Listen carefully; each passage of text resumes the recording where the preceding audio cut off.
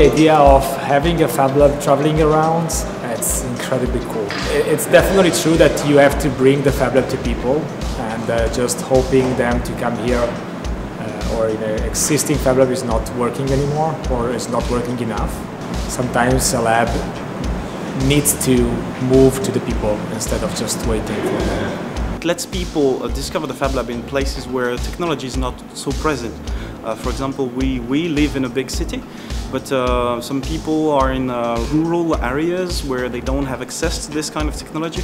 So it's really great to be able to bring it to them and show them and, uh, and uh, share that with them without having them to move or to, to go to another place. People should visit the Fab Lab because it's the right place where they can free their fantasy building object and meeting people. But there is a very strong relationship between libraries and Fab Labs. Of course, we, there are a lot of people saying that you know, Fab Labs are new libraries. The important thing uh, of Fab Labs is that they really are a place for the local community, as, as libraries also used to be as well. So probably there is a more important role for the future for the library as well.